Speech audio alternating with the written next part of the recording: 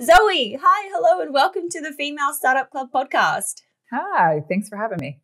I'm super excited to dig in. Can you give us a little bit of an intro to who you are and the businesses you've built? Um, so, Zoe Sakoutis, um, if coming to you from New York City, Brooklyn specifically.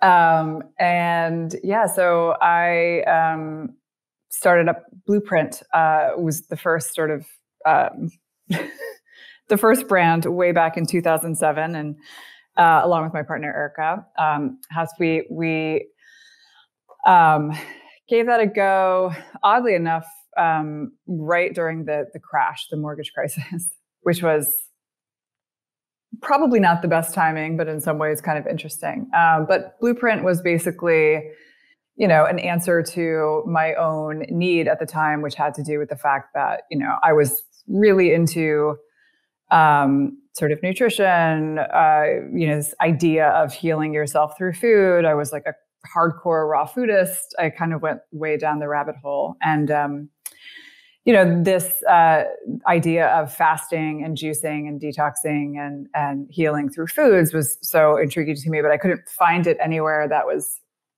you know, presented in a way that was convenient or you know, made me sort of like proud to carry around. Everything at the time was pretty crunchy and hippie and weird. So that, you know, it was, it was really a, an answer to, to my own need, which was like, can someone take this fringe concept that's super beneficial, incredibly healthy, not enough people know about, and just present it to people in a way that is like consumer friendly and not dogmatic and approachable and actually looks like sleek. Like you, you want to carry it around. It's sort of like a badge of honor.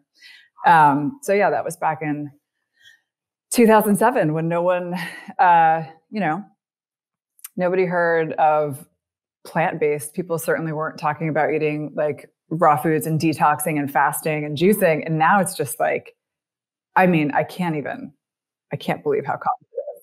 It's like intermittent fasting. Everyone's like got their, um, you know, their day carved out every week where they do it. It's just so commonplace now. It's it's great. I mean, it really blows my mind. Absolutely. And you had since then another brand kind of in between Urzo, and then now you have your third brand, Earth and Star.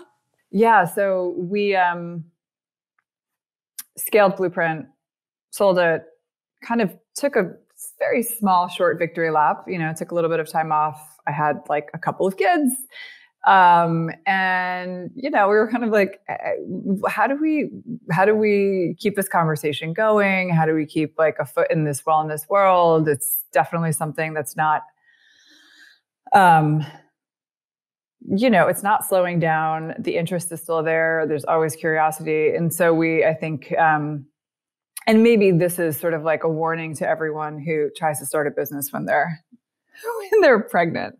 Because your brain actually does shrink um, just wait, just wait till the baby's out. Um, so that's actually when we started. That's actually when we we started Erzo, which was supposed to be a sort of. I think it was still, and probably still is, kind of slightly ahead of its time, but it was a, a food form of a multivitamin, essentially in a like cookie form. And you know, there was obviously a lot of learning in that. We we gave it a go. We realized a year in that it was just like so such a heavy lift in terms of the financing required.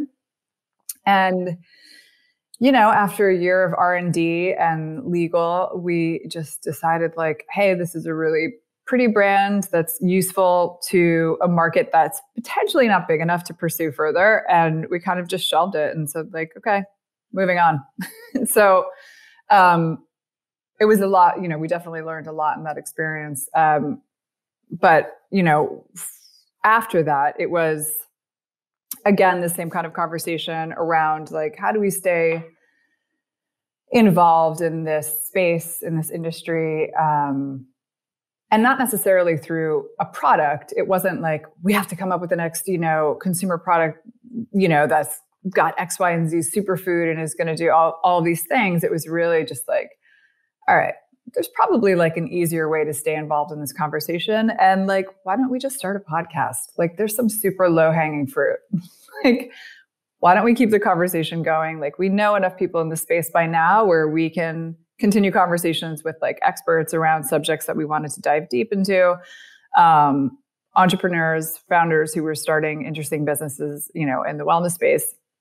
And so, um, yeah, that was like a very fun and easy way to keep the conversation going and and stay involved. Um, and so we've been doing that for a couple of years. Um, but you know, kind of uh, not so intentionally, we just found ourselves at one point like, you know, going through our like nine bottle deep uh, supplement cabinet and being like, God, you know, this this um, mushroom extract that I've been taking for like the past year now is kind of blowing my mind. And we just stumbled upon this conversation, and we had both been taking functional mushroom extracts for you know the better part of a year and um, for different reasons i mean i think i, I gravitated more toward, towards the like lion's mane and the sort of like cognitive functionality erica's not great with like sleep so she was doing all this like reishi and we had this moment where we are like god you know i stopped taking it and it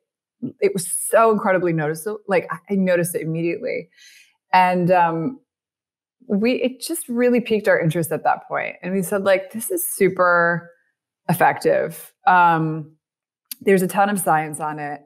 Uh, it's really interesting, just the mushroom space in general.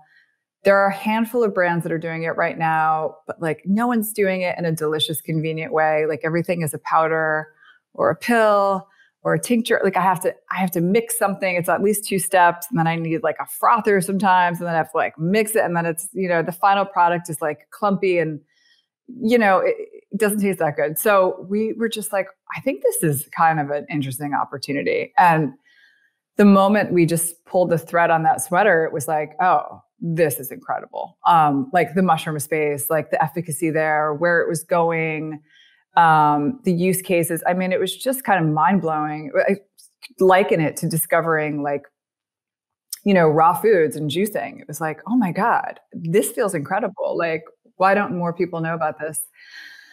So, you know, we decided let's just go after this in a way that we know best, which just so happens to be where there is some white space right now, um, which was ready to drink. And we're like, okay, we know beverage, um, sort of. and uh, I mean, I say that because like Blueprint was truly like, there was no blueprint for for that. Like there was no one was selling raw unpasteurized juice. It was just insanity. Um, but now, you know, so with this product, it was ready to drink. There's like a co-packer for it, you know, so it's a slightly less daunting. It's daunting in some ways, but so we got, you know, we we sort of like rolled up our sleeves. We got very involved. Um, almost like two years of R and D uh, in creating this formulation, um, and you know, we we wanted to do it the right way, obviously, so we don't have to do it reformulate again. So it's super clean label. You know, there's no junk in it. There's no like gums or seed oil. I can't believe how many like coffee brands have like canola oil or sunflower oil in their coffee. Um, there's no sugar alcohol. There's no stevia. Like nothing weird. It's truly like a very clean label. So we worked really hard on that for a very long time. Um, totally self funded it still to date. Um, we have a couple small individuals, but um, you know, we're just now launching it, and it's kind of crazy because we've been working on it forever. And again, it's like, oh, how did we manage to la- launch like another business during a like crisis? it's like this time is a pandemic. Um, but in a funny way, it's it's it's helping with the messaging, right? Because uh, we obviously didn't plan it, but first and foremost, like what functional mushrooms do is regulate your immune system. So it couldn't have been more timely. It was just like, oh my God, we just like came out with a product that's what everyone in this on this planet needs like desperately on a daily basis. You know, basically just to like, you know, support their immune system, regulate it. Um, so that was kind of a a fun discovery, a little like silver lining in a pandemic. well, um, wow. First of all, holy moly, this is such a long journey for you both and so exciting. I feel like you've been through really like major highs, major lows. Um, I'm keen to kind of touch on all three of the businesses. usually we focus on how you're building the biggest business, how you grew it, that kind of thing. But with Blueprint Cleanse, I want to talk about more that exit piece because it's something we haven't discussed a lot on the show. And I want to understand that side of business a bit more. So, what I'm wondering is when you started that business, was there always a clear vision or pathway to exit from like the get go, or did that come later? No, I think that was very, very um, clear in my mind. Uh, I was not interested. In fact, it was, you know, it was sort of looking around and seeing all these juice bars and thinking, like, this is some dated, you know, this is such a dated approach. Like, I don't, I'm so not interested in, I'm interested in juicing and fasting and detoxing. I'm not interested in like opening up a chain of juice bars. Like, I want to like really innovate here. Um, and and eventually grow it to the point that yes, we can sell it. Um, so scalability was um, out of the gate was was definitely something that we wanted to do um, so that we could eventually exit. Um, and you know, it, it, I guess it sounds strange because looking back, I'm like, wow, it really kind of surprises me. It's like, yes, that was always the intention. Um, but so with Blueprint, we um, you know, we didn't ever raise money. Um, so I think a lot of people don't realize that because it's pretty unheard of. I didn't actually know how rare that was until after we sold it. Um, but we were, you know, basically, I think I got like a couple thousand dollars from my brother. I was like, hey, I want to do this like juice cleanse thing. And he didn't know what I was talking about. I was like, sure, but just pay me back. And, you know, I think I maxed out my credit card with like $25,000 and, you know, counted on the kindness of strangers to give, you know, give a little corner space in their kitchen. Um, and that was really a bootstrap company um, the entire way. And so we never took out, took on outside investment. Um, and it wasn't until you know, we started direct to consumer. We were selling this cleanse program. We were delivering raw product across the country, um, nationally. And then we cracked the code on HPP. We were basically trying to figure out how to get on shelves, and you could not get on shelves if you were a raw product. So that um, you know that put us to work to try and find a solution that wouldn't compromise the integrity of the juice. So, in other words, we couldn't heat it because that would just be going backwards. So, we were the first to also um, apply HPP to juice. So, that was a very HPP is um, what is used on every cold press juice now. So, basically, HPP is a pressurized way to treat the juice so that it inhibits the growth of bacteria and it makes it safe for consumers. Um, and the reason it's attractive um, is because it you know it maintains the nutritional integrity of the juice it maintains the enzyme activity um, and it's super fresh and it doesn't affect the flavor um, so we applied that that was kind of like a you know definitely a game changing moment. We were able to get on shelves and scale through Whole Foods and all the rest. Um, and right when we did that, you know, still hadn't raised any money. Um, it was a really nice business model in that way. it was always like cash flow positive. Uh, but we got a call from um, Mr. Howard Schultz himself, who, if you don't know him, he's the founder of Starbucks. Um, and you know, it's kind of like, oh, okay, I guess we know who our competition is now.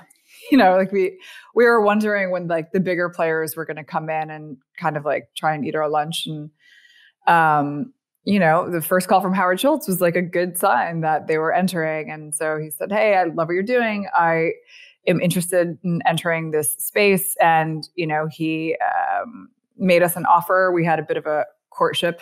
Um, it was like a few months of trying to see if we could strike a deal. And uh, ultimately, we passed. We thought it was just too early. We were too um, like on the eve of ex- explosive growth, really, having just applied this HPP and getting in nationally to, to pretty major accounts.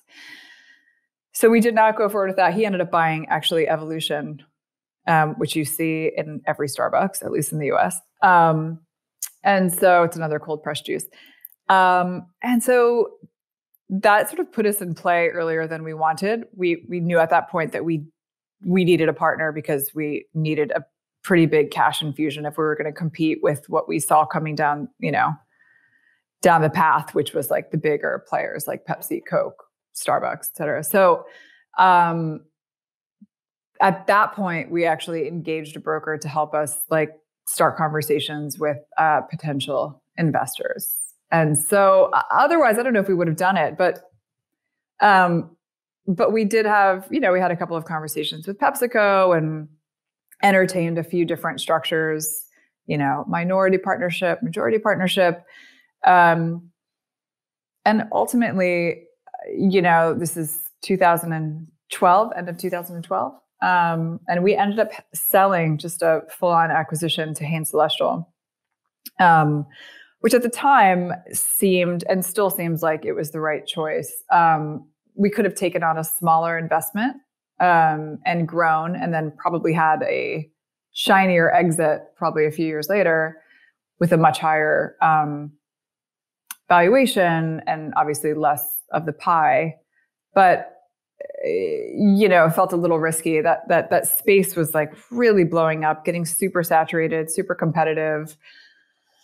We were kind of the pioneers, and it, I just it felt like it felt like we were kind of wise enough at the time to see around the corner that it was just too crowded, too competitive, and uh, you know, not everyone was going to make it to the finish line. And so we kind of just took that opportunity when when we could, and definitely don't regret it. Wow, goodness, how exciting! When you were going through that process, what is it? And this might sound like a really stupid question, but like, what is it that buyers are actually looking for in a business? And I mean, like, is it revenue? Is it profitability? Is it like customer awareness in the market? What what's interesting to a buyer? All of those things, really. I think you have to have like sort of every box checked. Um, you know, obviously revenue was very important. Like year over year growth is very important. Um, they want to see you growing at a certain percentage year over year. Um, they want to see really strong customer engagement a lot of repeat. I think now it's like it's so heavily like um like subscription. Everything is like subscription based. So I think that's such a big piece of the puzzle for a lot of brands. Um but at the time, you know, we didn't have uh again, this was sort of like pre-Amazon. I mean, it existed, but not in the way it does now. It was sort of pre-social media. It was like just starting. Um so now all of those things like hold value, like when you think about your social engagement and the rest. But I think even that might be starting to to lessen a bit because so much I mean, because social media, Instagram is just so noisy as well.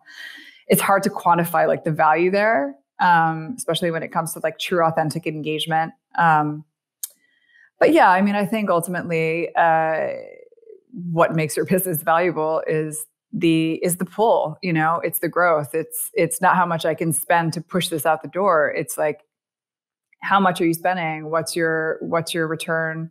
Um, how much are you paying for that customer? Um, and obviously the less you can pay for a customer the much sexier the, the deal is um, with blueprint like we had no you know we didn't never did any traditional advertising there was no social media like word of mouth was incredibly strong. I mean, the product at the end of the day was like so experiential. Um, but but yeah, we we we never really spent a lot there, and I think that was probably a very attractive part too. Is it publicly disclosed how much you sold the business for, and if so, are you able to share what that exit looked like? I think it is. It was like mid. I like don't even remember. It was like mm, somewhere around 25 million. And then we had like a, we stayed on for a couple of years and then we had a additional earnout that was tied to sales. Right. Okay. So you stayed with the business for a few years afterwards to kind of keep growing it, keep that momentum, and then you're able to step away. Did you also have to say, like, oh, I won't create another business in this same kind of category? Yeah. So we had to, um, you know, we had a non compete for um, after our earnout period was over and after we left Hain, we had, uh, it was probably like a couple of years of non compete where we couldn't um, work for another juice brand. Um, which is totally fine because we were juice fatigued at that point. I want to actually kind of merge into business number three because we kind of spoke a little bit about Urso and, and why you thought the timing potentially wasn't right there. What do you think was like the takeaways that you were able to use from business number one, kind of like the blueprints from lol, pun intended, the blueprints you used from number one that still work today in building a business and the things that you really had to shift and do differently in today's landscape?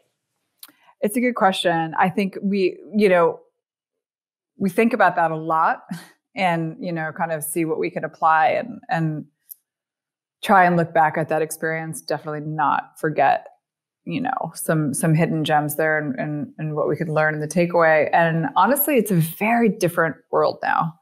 And so there are there there yeah, I mean, pandemic aside, it's uh, even before that, it's like again, social media didn't exist, direct to consumer did not exist. Like really, it was it was crazy that we were shipping people juice. It was like insane, um, and perishable juice that had to be refrigerated. You know, it was just like. Um, but I think one of the takeaways is, you know, one thing that has not changed is that you know you have to have obviously your product has to be really good. Like there's just no getting around. You know, can I can I curse on this show? Um, there's no getting around like shitty, you know, garbage in a in a can, garbage in a bottle. It's like if your product isn't good, it's just it's not going to go anywhere. Um, so we spent a lot of time um, and a lot of money like getting the product to the point where it is actually quality. Like people crave it. Like it is efficacious. It is delivering on the promise, and not just from a taste, you know, standpoint, but um, you know, from a functionality standpoint. Um, so that's key, and that hasn't changed. And I find it shocking, even you know, sometimes when I taste some some products that are on the market, and I'm like, how like who gave like who greenlit this product? This is shocking to me that people will actually consume this you know, obviously I won't name any names, but it's just like I don't know if you're just I get like you you're in such a hurry sometimes and you just want to get to market and you want to be done with the R&D because it's such a pain in the ass. Um it's incredibly expensive, but you know, at the end of the day if you don't have a good product, like you're kind of screwed. Um and so, you know, another another very applicable um, you know rule from blueprint days is people. And you know my partner and i we're still partners. We're like officially work wives. Um, but beyond that it's truly like y- you have to make sure you're surrounding yourself you know with the right people. Um, and we're you know we we basically tapped a lot of the same um, partners that we had for Blueprint, you know, whether it was like a creative agency or, I mean, it's so valuable to have that experience and that shorthand. Um, so that's been, you know, that's been key, I think, in like keeping the pace and, um, and going faster. And I mean,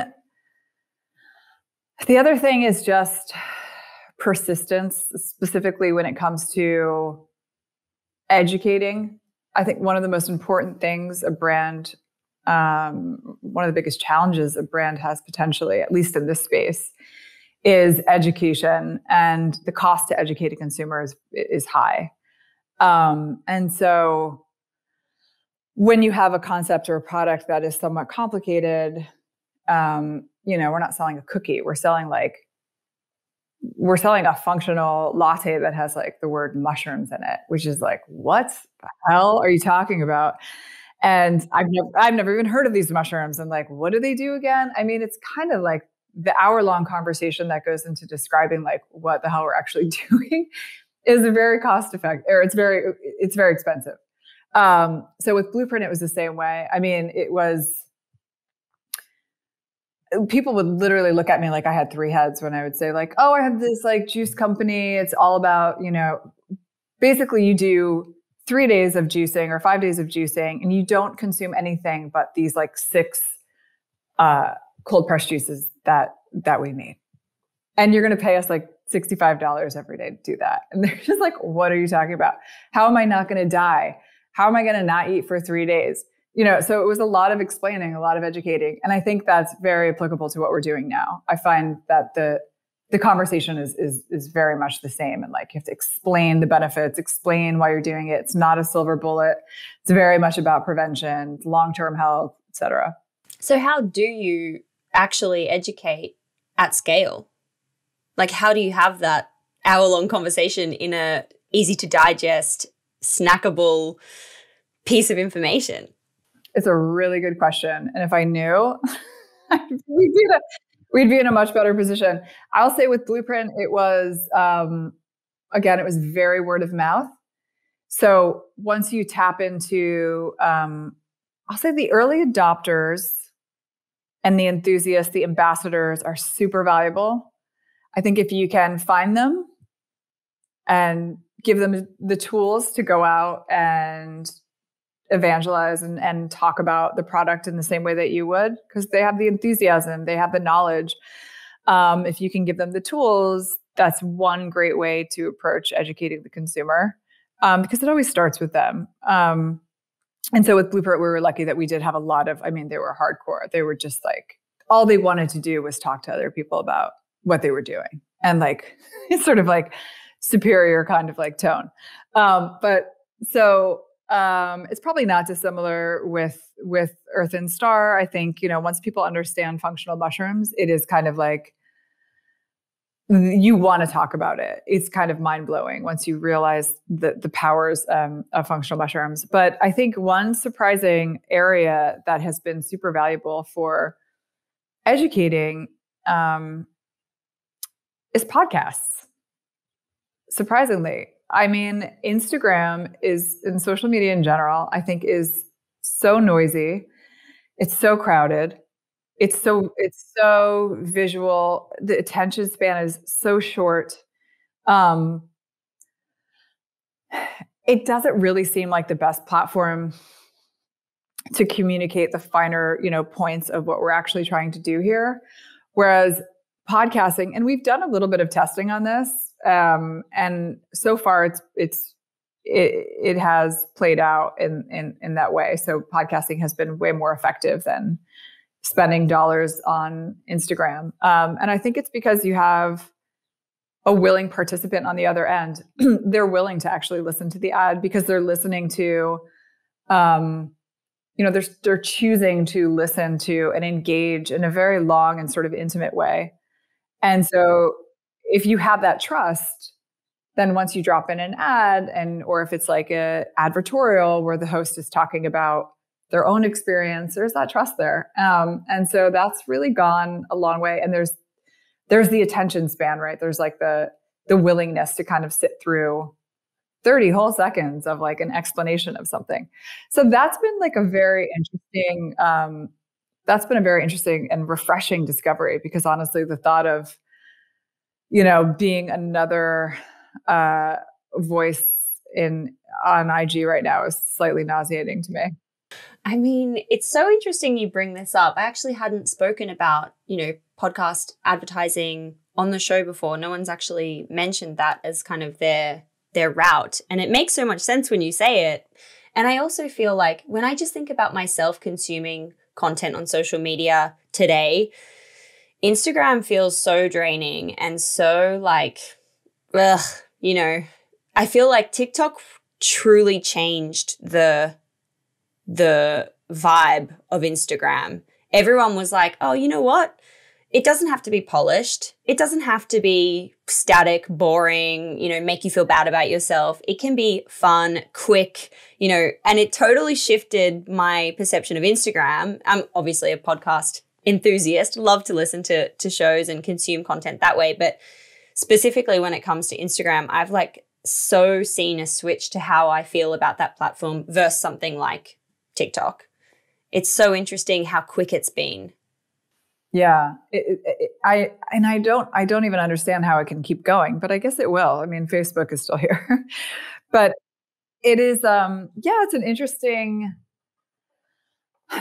It's interesting. I, like I did not realize it was going to be um, as effective as it has been. Podcasting, that is. Um, but and I know a lot of you know I've had conversations with other um, business owners where they're just like, I'm, you know, taking all of my dollars out of Instagram and putting it into like experiential in real life. I mean, obviously it's hard to do now, but we're getting there again. Um, because I think, and maybe we'll, we'll we will feel even more of a backlash after we kind of like crawl out of our caves post pandemic um, to this like yearning for in real life experiences again and and like get off the phone get off the zoom get off the screens. It just it, it it's it feels not good. It feels real icky now. Mm-hmm. i agree. I'm with you. I i feel that. I'm so sick of the screen where is the business today? Like what does the team look like? What cool things can you shout about? What's going on? So um yeah we uh you know we officially launched um, about six weeks ago at retail, um, which has been very exciting to see finally like real feedback um, and positive feedback. So we're at all the Erewhon markets in LA. Um, that's a great audience for us, sort of like the destination for wellness discovery. Um, and you know, we have a very very skeleton team. We have my partner Erica and I, we have a couple of in-house people who are doing social and customer service. And outside of that, everything is kind of bolted on. Everything is outsourced. So, you know, our um, obviously PR is outsourced. Our creative agency is outsourced. Um, we have an R and D team. We have. It's like you can really uh, get away with a skeleton crew for a very long time these days. I mean, there are so many groups that you can just hire, um, so many consultants. Uh, so we are just launched at retail. We're obviously available on our website, direct to consumer. We will be on Amazon in the next, hopefully, couple of weeks.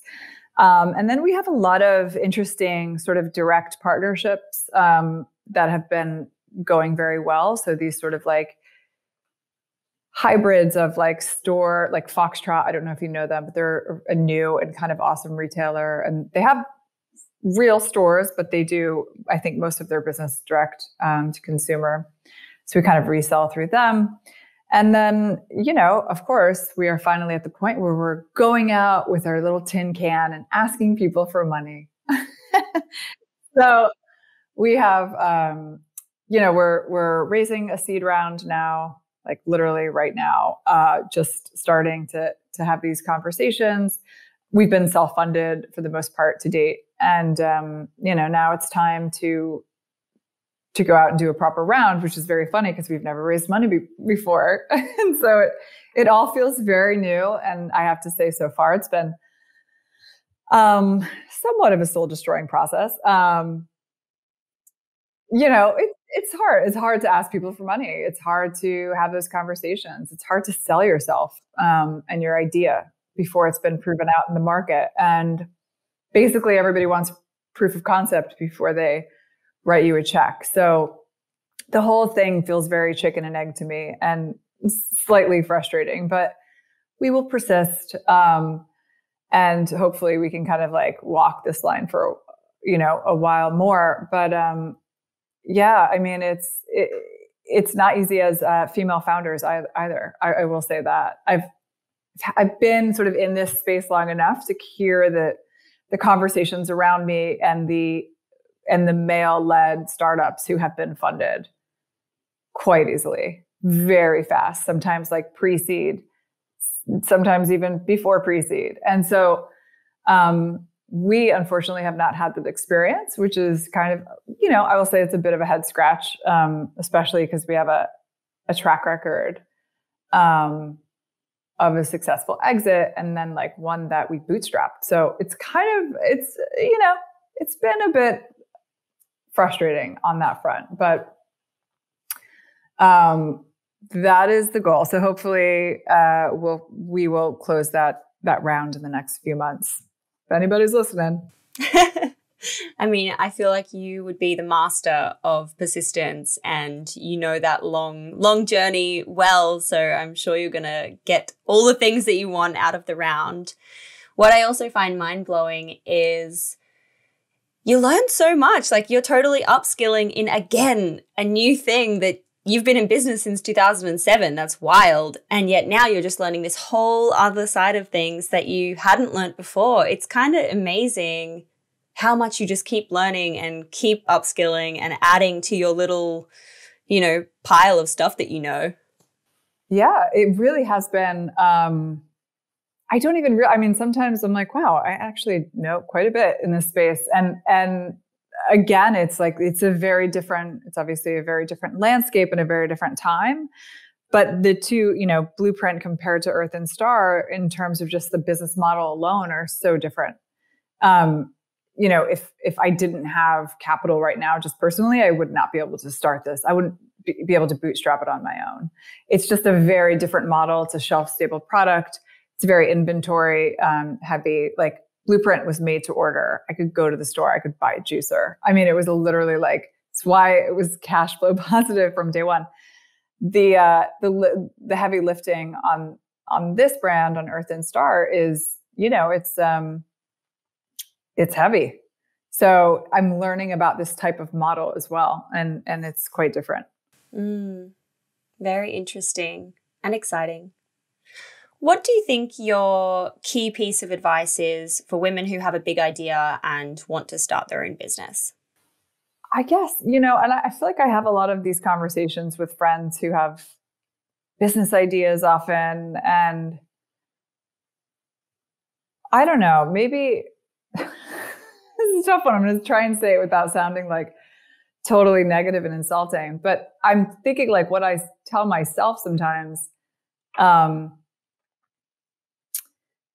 is like n- not every idea that I have is like an awesome idea that should be pursued. Like, I mean, that sounds very negative, but I, I have to like check myself very awesome, very often. And it's like, oh, that's like funny or whatever. Maybe I should do it. And they're like, oh, no, uh, that was not necessarily like the best idea. Like move on, move on, try something else.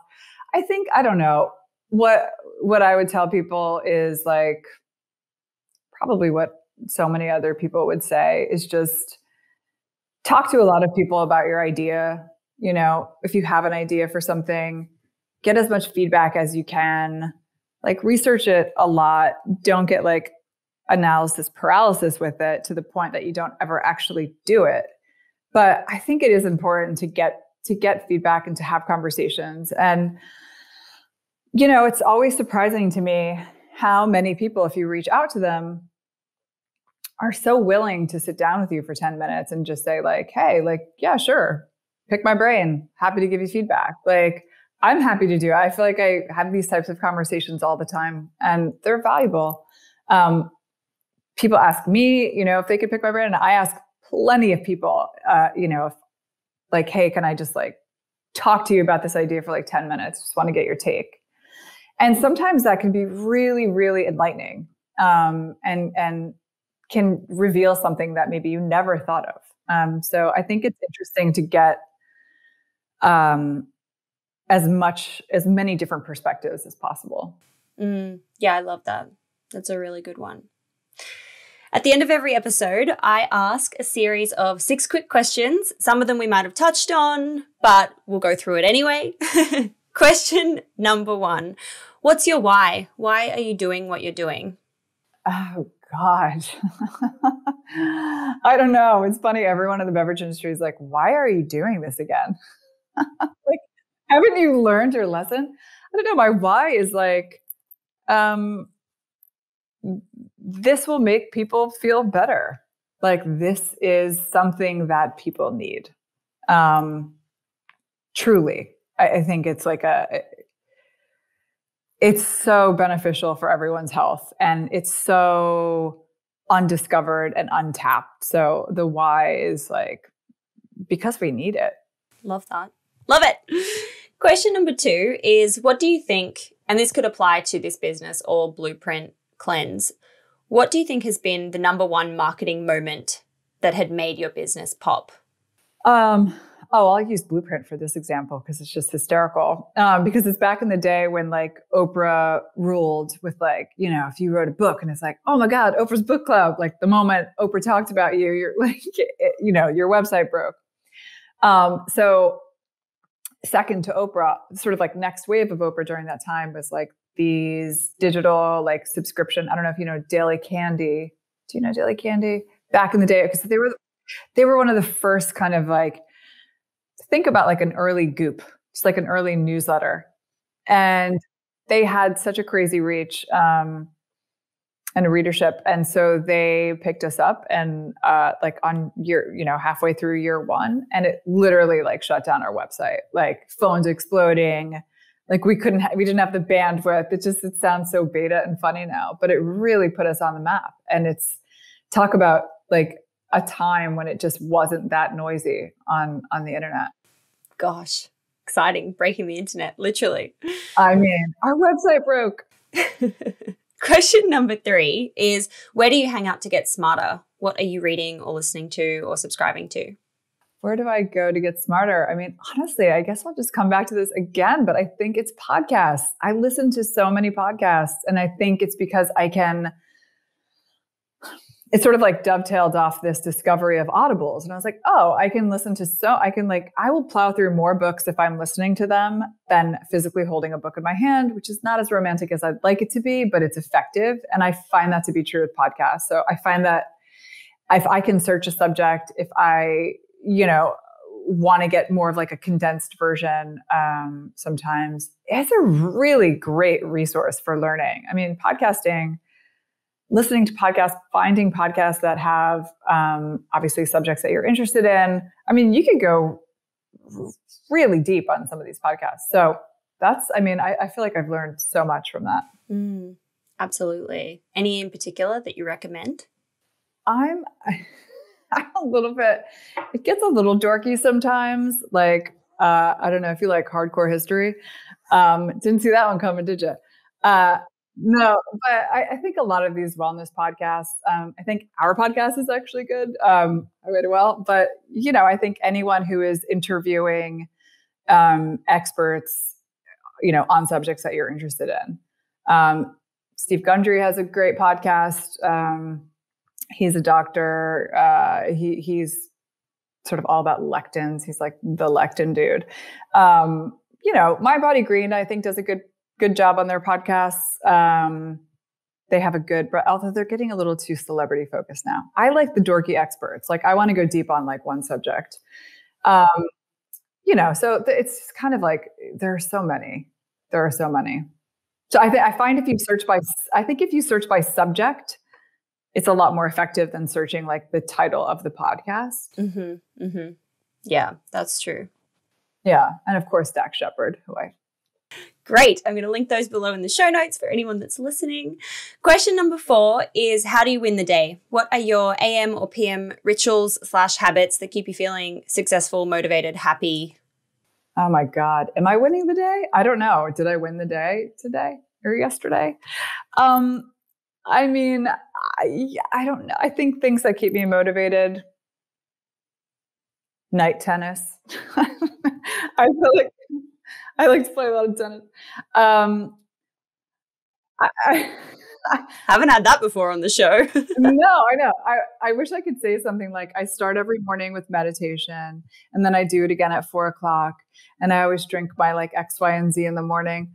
But I really don't. I mean, I definitely take a lot of supplements and I feel like that does a lot for me. Obviously, I take a lot of functional mushrooms. Um, but I don't have like such a specific routine. I mean, I have like two two kids and feel like I'm always sort of catching up with myself. Um so I don't know. I think I win the day if I if I'm if I'm not talking negatively about the things that I didn't do. I feel like that's kind of like I'm like, you know what? If I can end the day with saying something like I didn't do everything on my list today and that's okay. I did a lot and I'm making progress and I'm all about micro progress and micro steps. That is like winning the day for me. It's like, okay, I did some of those things. That's fine. I'm all about the micro progress and the micro steps. That 1%. Just be 1% better in whatever it is. Just aim for the 1%. And then the compound effect over a couple of years' time is going to be crazy, exponential. Totally. Whew. Question number five. Where are we up to? If you only had $1,000 left in the business bank account, where would you spend it? It's a great question because we do have $1,000 left in our business account. Again, any investors who are listening. Um, if I had $1,000 left in my business account and I already have my product done, it's ready to go. It's a hypothetical. You can have the product done. It can be ready to go. I don't know. I think, you know, I think I would spend it on podcast advertising. that is like, sorry, I, this whole episode has been about how great podcasts are. Um, but no, I mean, I, I think, um, I think that's been like the greatest like return for us. Yeah, I'd put it there. I love that. Really cool. And question number six, last question How do you deal with failure? What's your mindset and approach when? I think it's okay. I'm not one to get hung up on um, past failures. I definitely don't spend a lot of time looking back, and I don't like to play the shoulda woulda game because it just is absolutely useless. Um, it's fine to analyze things and like learn from the past, but I, I I don't know. Failure is not something that I look at through like such a negative lens. And I see people who are just often paralyzed by it to the extent that they will never try something. And I think that's so horrible. Like, you know, that's just, it seems so boring to not have ever tried. Um, I don't know. I mean, I think there's nothing wrong with failure. I think it's just all learning. It's like there's nothing, you know, and it's, I feel like I have this conversation constantly with two children who are extremely revealing themselves like revealing themselves to be extremely competitive and to the extent that like sometimes they don't want to try things because they think they're going to fail. And i find this just like fascinating. So i'll have conversations with my kids around this often and i'm really having a conversation with myself.